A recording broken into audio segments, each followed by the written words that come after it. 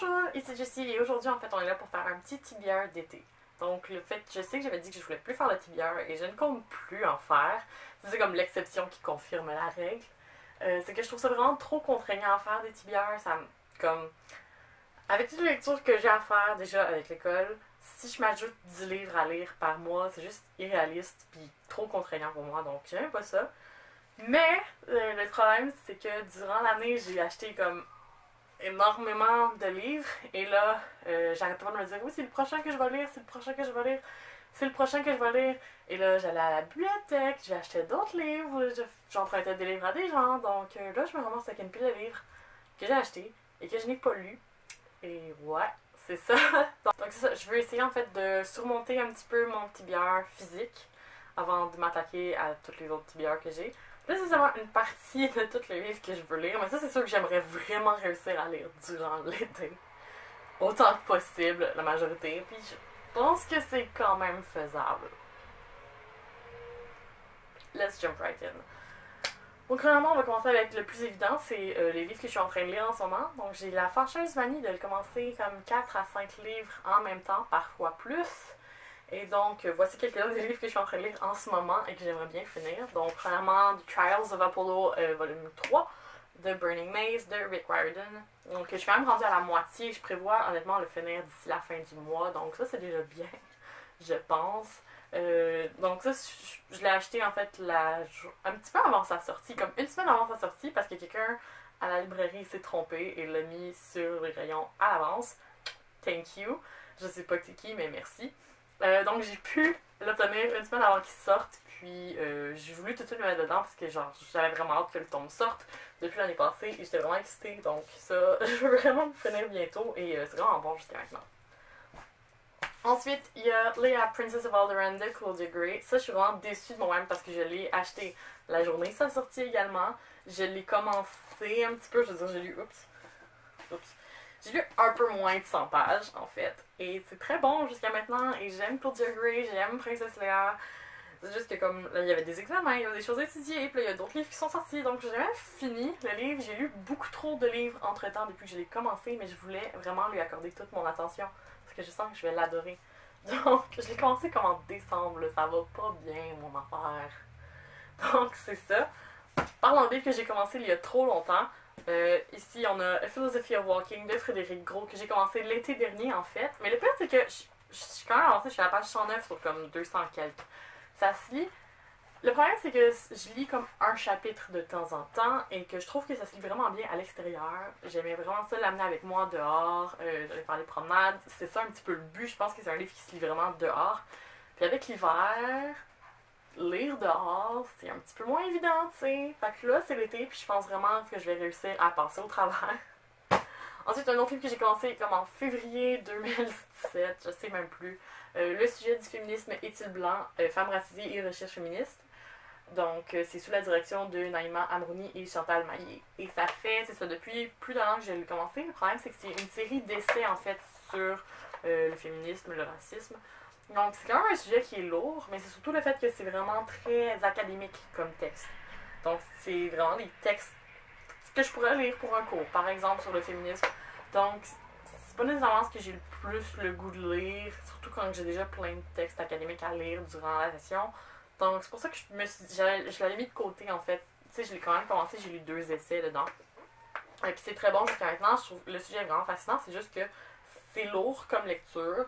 Euh, c'est une lecture que je veux faire, que je pense que je dois faire d'une certaine façon, et que je veux lire. Faut juste que comme je trouve la motivation de me plonger dans des échecs un petit peu scientifiques parfois. Donc euh, c'est juste ça en fait le problème que j'ai avec ce livre-là, mais sinon à date c'est super bon. Ensuite, il y a tout le reste. Euh, donc là, c'est intense, honnêtement, quand je dis tout le reste. premièrement, j'aimerais lire. Ça, c'est pas super parce que c'est des mangas. Donc, j'ai Death Note, volume 3 et 4. Euh, en Black Edition, ça dans le fond, c'est les volumes 5 euh, à 8. Ouais, c'est ça. Donc 5, 6 et 7 et 8 euh, que j'ai pas encore lu. Puis ça, j'étais comme cet hiver, à la fin du décembre, je pense, j'étais vraiment dedans. J'avais le goût de toutes les lire. Puis là, comme mon copain me les a achetés, j'étais super contente. Puis j'étais comme, yeah, je vais lire ça là, là. Et finalement, non. La non-session qui a commencé, je suis passée à autre chose, mais je veux quand même vraiment les lire. C'est des mangas, comme j'ai dit, donc ça va se lire assez rapidement. C'est une super bonne histoire. Un coup que t'es dedans, tu débarques pas Donc, je pense que j'ai quand même être capable de passer assez rapidement à travers. Ah, j'ai oublié de dire en fait qui avait écrit ça? C'est euh, Tsugumi Oba qui a écrit ça. Donc, ensuite, ça, c'est que je l'ai mis de côté plus parce que c'est une lecture d'été, j'ai l'impression, et que je l'ai commencé en fait l'été passé. Euh, je vais lu comme un chapitre environ. J'ai lu comme 20 pages, c'est horrible. Mais c'est The Secret of Peaches de Jodie Lynn Anderson. C'est la suite en fait du livre Pour de pêche de la même auteur. Euh, que j'avais lu il y a trois ans, je pense, pendant un été. Et c'est vraiment une lecture de plage, une lecture d'été. C'est pour ça que je voulais pas le lire durant l'année. Euh, c'est une bonne histoire d'amitié qui se passe pendant l'été, justement. Fait lire ça sur le sapin de Noël, c'était pas mon mood. Fait que je l'avais mis de côté expressément pour pouvoir le lire cet été, euh, à la plage justement, parce que c'est vraiment ce, ce que j'ai le goût de faire. Donc ensuite, il y a Turtles All the Way Down de John Green, ça fait encore une fois un moment, je pense que je l'ai acheté comme dans la semaine de la sortie, j'avais prévu de le lire la semaine de la sortie, puis c'est pas arrivé. Parce que, oh, j'ai un signet dedans, par contre, oups. Je ne savais pas. Euh, mais c'est ça, et j'ai quand même hâte de lire ça, parce que, à date, tout le monde a aimé ça, mais tout le monde a aimé ça. Ce que j'en ai lu, ça a été vraiment apprécié, et comme j'ai envie de lire un aussi. Ça longtemps que j'ai pas lu John Green non plus. Donc. Puis aussi, je pense que John Green, ça se lit mieux l'été que le restant de l'année. Donc, je pense que ça va être quand même bien. Un autre livre que je voulais me garder pour l'été parce que je trouvais que ça faisait un petit peu plus estival, c'est Georgia Peaches and Other Forbidden Fruits de Jane Robin Brown. Donc, euh, c'est l'histoire en fait d'une fille qui fait des pasteurs qui déménage dans une nouvelle ville. Son père est quand même OK avec euh, son homosexualité, sauf que dans cette nouvelle ville-là, il dit que pour l'instant, elle devrait faire semblant d'être hétéro euh, pour mieux pouvoir s'adapter à la ville. Et malheureusement, elle va rencontrer une autre fille à l'église et probablement qu'il va nous ramasser, qu'il va sortir de ça. J'avais vraiment hâte de lire ce livre-là, mais ça aussi, c'était plus une petite romance. Il y a les pêches encore une fois, donc je sens que c'était plus un livre d'été. Et c'est pour ça que je l'ai gardé pour cet été. Ensuite, c'est un livre qui me fait, ça me fait un peu honte en fait que je l'ai même pas commencé ni rien, et c'est Defy the World de Claudia Gray. Donc, si vous suivez ma chaîne, vous savez, même si vous avez écouté le début de cette vidéo-là, vous savez que j'aime beaucoup Claudia Gray. J'adore ses livres. Et comme l'année passée, je suis tombée en amour, en amour total avec Defy the Stars, qui est le premier tome de cette série. Et là, ça a fini. Et moi, je pensais pas que c'était une série. Et ça a fini. J'étais comme, quoi? Vous me laissez comme ça? Et c'est là que j'ai appris qu'il y avait une suite. Et comme j'en pleurais presque, j'avais besoin de la suite. J'allais mourir si je ne lisais pas ce livre immédiatement. Et là, je l'ai acheté, of course, la journée de sa sortie, là, parce que, tu sais, j'en avais besoin et je l'ai même pas commencé. Ça doit faire un mois de ça. Il est sur ma bibliothèque, il me regarde. Oh mon dieu, je dois commencer ce livre-là bientôt, bientôt, bientôt, bientôt, bientôt, bientôt, bientôt, bientôt, bientôt, bientôt, bientôt. Je l'aime. Je l'aime déjà, je l'ai même pas commencé puis je l'aime déjà tellement. Donc ça aussi. Un autre livre que j'ai vraiment hâte de toujours pas avoir commencé en fait, c'est Cartographie 2 Couronne Nord. Euh, donc ça, c'est une série d'essais, en fait, sur euh, la couronne nord. Je sais pas exactement. ça aussi, c'est un, livre que j'ai acheté, je pense, le lendemain de sa sortie. J'avais super hâte de lire. En fait, c'est parce qu'il y a un texte de euh, Mélanie Janard là-dedans qui écrit sur Laval. Donc, j'avais vraiment hâte de lire. Et je l'ai toujours pas fait. Puis j'ai tellement honte de moi de toujours pas l'avoir lu. J'ai même pas d'excuses. Il est là, puis il me regarde sur ma bibliothèque. Puis j'ai comme prochainement, mais cet été, je vais le lire pour de vrai. C'est des nouvelles, donc ça devrait se lire quand même rapidement, j'espère. Ça commence déjà comme. Je sais pas si vous voyez, mais j'ai comme déjà deux piles à côté de moi là, ça. Ça commence bien. Ensuite, il y a The Song of the Shields de euh, Madeline Miller. Donc, ça fait un moment en fait que j'ai envie de lire ce livre-là. C'est une réimagination du mythe d'Achille. Je pense que je suis pas sûre si c'est dans les temps modernes ou si c'est euh, époque je ne suis vraiment pas sûre. Je sais que tellement de monde m'a aimé ces livres-là, ça a gagné des prix et que j'aime beaucoup la mythologie grecque. Donc je pense que ça va vraiment m'intéresser. J'ai vraiment, vraiment hâte, honnêtement, de me plonger là-dedans. Et ça a juste pas donné encore une fois. Puis je sais pas si je vais, honnêtement, je vais être très honnête avec vous.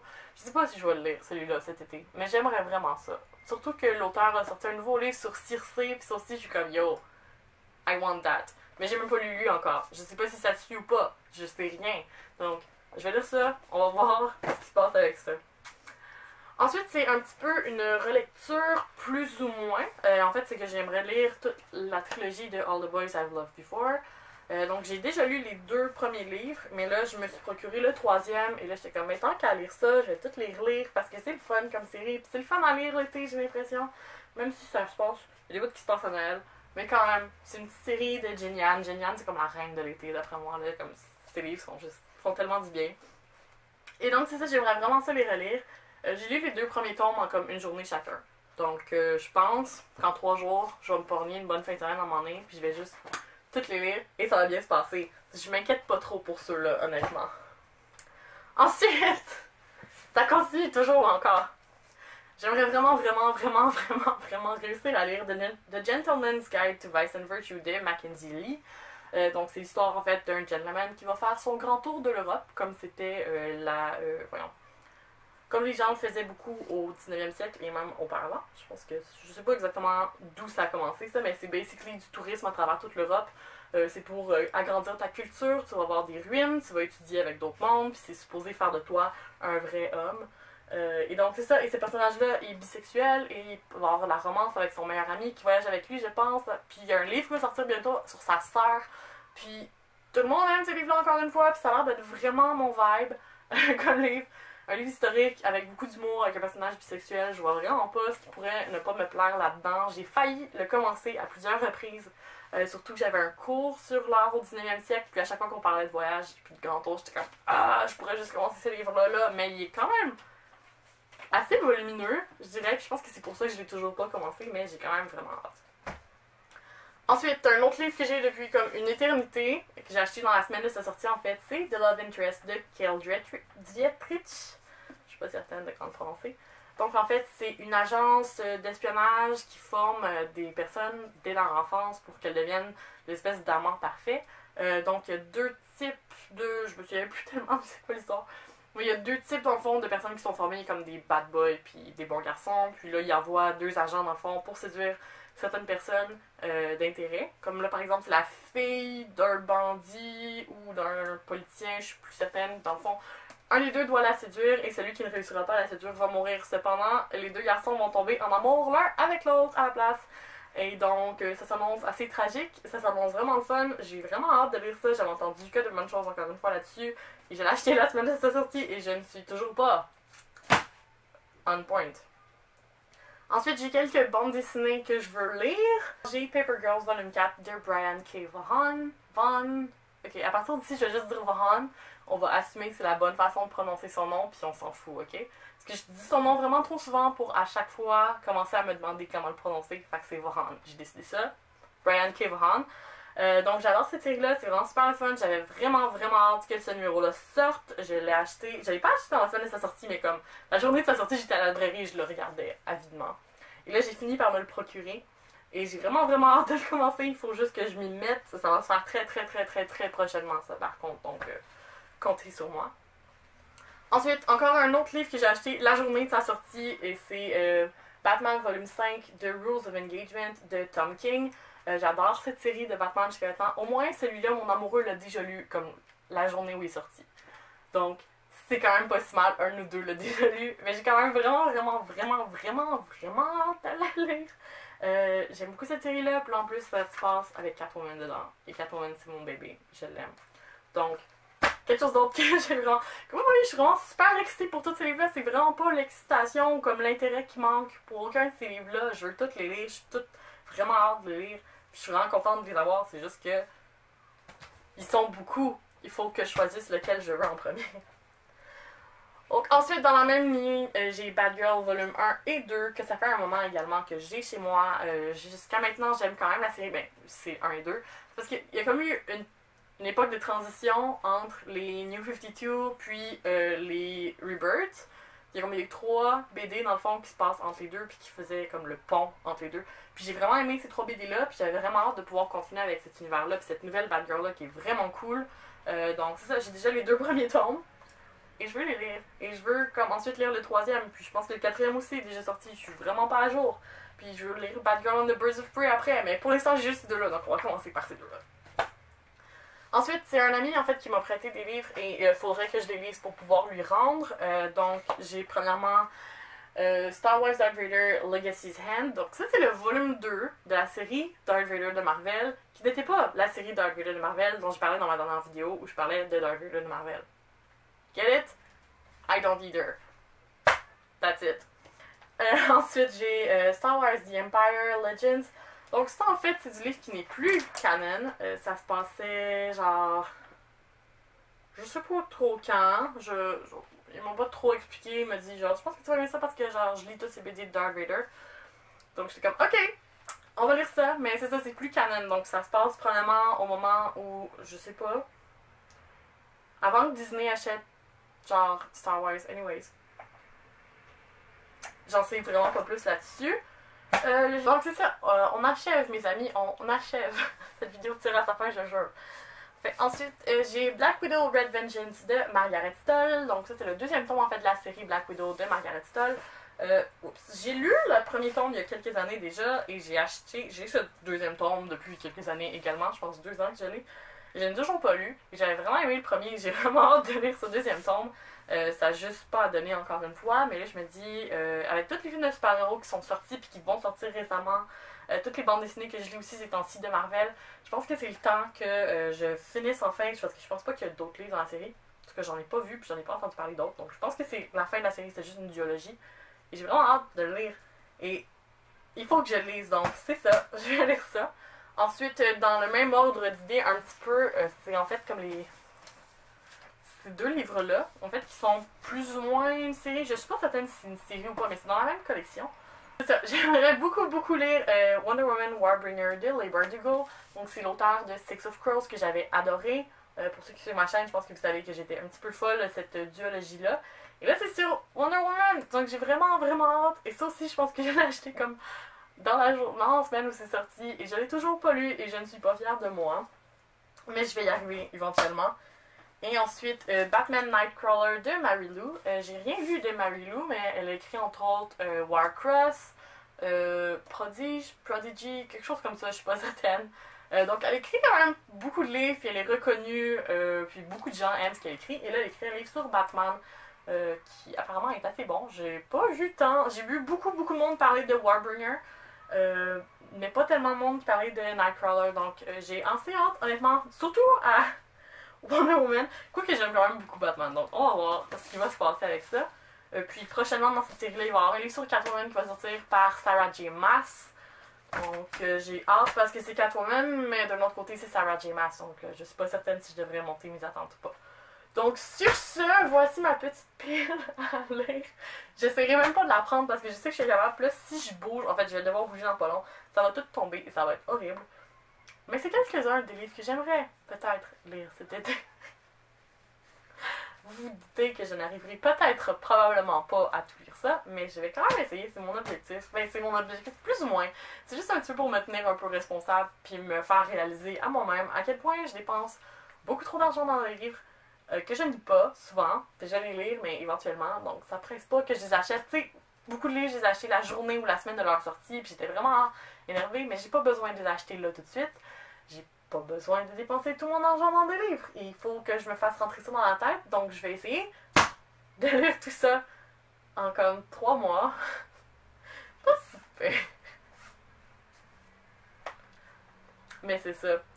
Donc, euh, je voulais vous donner une petite idée d'à quel point euh, mes, voyons, mes habitudes d'acheteur, mes habitudes en fait de lectrice sont pas nécessairement saines, surtout en ce qui a trait à l'achat de livres. J'essaie de me contrôler un petit peu, mais c'est dur. Tous les livres ont l'air tellement bons, mon dieu. Ça, c'est pas tous les livres que j'ai achetés cet hiver non plus, il y en avait d'autres, tellement d'autres.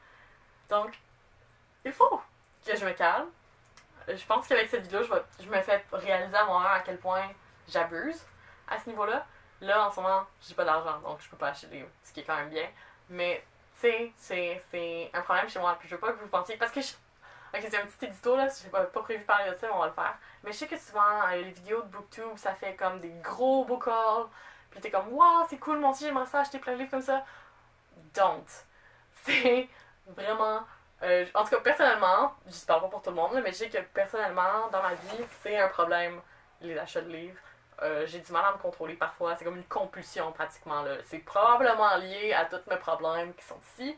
Euh, je sais en tout cas que souvent c'est une façon que j'ai de comme cope avec ma dépression. Je suis comme ah je me sens pas bien, je vais m'acheter un livre pour me sentir bien. Ah non j'ai dépensé de l'argent pour quelque chose que j'avais pas besoin, je me sens coupable. Je suis encore en dépression, je vais m'acheter un livre. Je ne suis pas une personne très intelligente et je n'ai pas beaucoup de contrôle sur moi-même. Euh, donc, ça se ramasse avec ça, des grosses piles de livres que je n'ai pas lus. Et euh, c'est ça que je vous dis, fait que c'est pas nécessairement être glamour puis fun. T'as tout le temps acheté plein de livres, mais genre. Peut-être pas nécessairement, mais encore une fois, chaque personne a sa réalité derrière ça. Il y a plein de monde qui achète plein de livres, qui sont super heureux avec ça, puis qui ont définitivement les moyens d'en acheter plein. Puis genre, je suis contente pour eux, puis je veux pas dire que c'est pas correct d'acheter plein de livres, je veux juste dire que des fois, c'est pas ce qu'il y a de mieux et que ça peut être lié à d'autres problèmes qu'on a. Donc, euh, ouais, la vidéo était pas supposée finir sur une note sérieuse comme ça, mais euh, ouais. Quand t'as un plan de moi qui essaie de prendre tous mes livres? C'est. difficile. Parce que je veux pas les faire tomber, je les aime, ces livres-là, ils sont tous neufs. S'ils tombent, ça va être.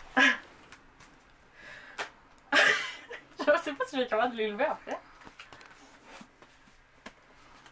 Ah, ça n'arrive, je sais pas capable. Je le dis tout de suite, je ne sais. Ok, il reste juste les livres que je suis en train de lire en ce moment. Ok, ok, on va, on va peut-être y arriver.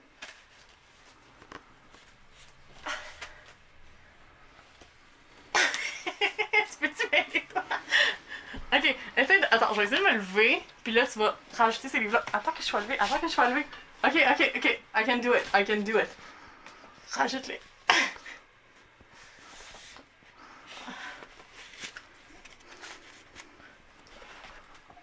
Ok.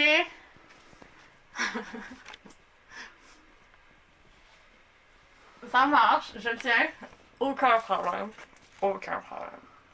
Donc, c'est ça, je vous dis merci et à la prochaine.